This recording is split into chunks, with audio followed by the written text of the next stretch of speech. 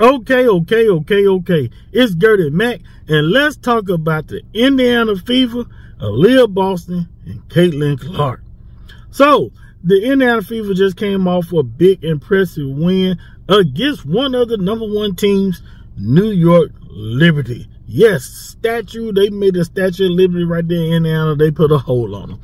Well, um, that, that was a good win. Also, Caitlin Clark, also got a triple double, and I ain't talking about the cheeseburger. I'm talking about no onions, extra pickles. She did it. She made Indiana Fever history. Not only did she get a triple double as the first rookie in the WNBA, but she was the first player in Fever history to even get a triple double. Um, Aliyah Boston and uh, um, Clark is a one-two connection like a socket and a plug. They are connected together like a 1500 watt light bulb. They are shining bright like a diamond. Uh, the team, they are starting to come together also. And also, shout out to Christie Sides for finally benching Kristy Wallace. No disrespect to Chris, Kristy Wallace, but people was calling for her to make a change. Let somebody else get out there and see what they can do. Well, one thing uh, um, that is good for any sport is team camaraderie, bonding like glue, and gelling together off the court. On the court is good, but the relationship building and playing starts off the court also. That bonding that y'all have works well together on the court and it shows. The, um, this team is fairly new, but they got a long road ahead of them and they have potential to even get better.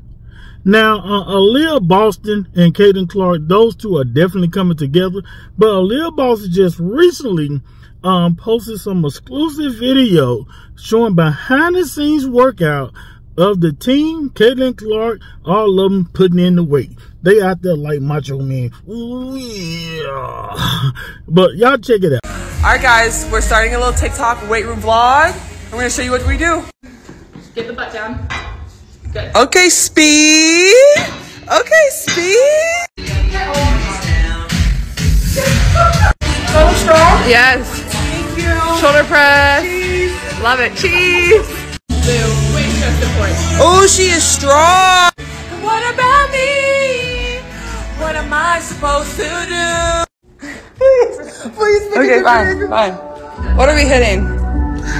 We're hitting a little of these. I'm not sure what they are. Not sure what it's doing, but Sarah says it works.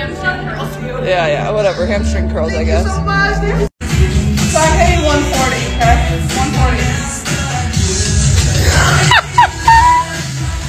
All right, guys, that's our lift. We are strong. Okay, we're actually strong. What?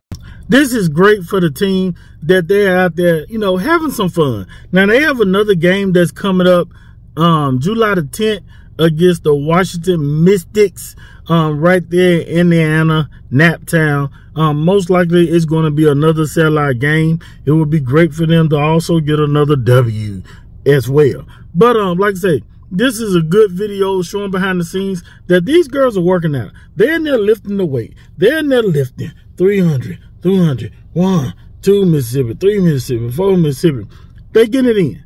Because like I say, team bonding starts not just when you get in the gym, not when you just get to the game. It starts before all of that, off season, um, when you're not playing. Because if you don't have that chemistry, it's going to show in the game. And you got to have it. Um, but y'all get in the comments. Tell me what y'all think. Don't forget to subscribe to the channel, like and share this video. Holla.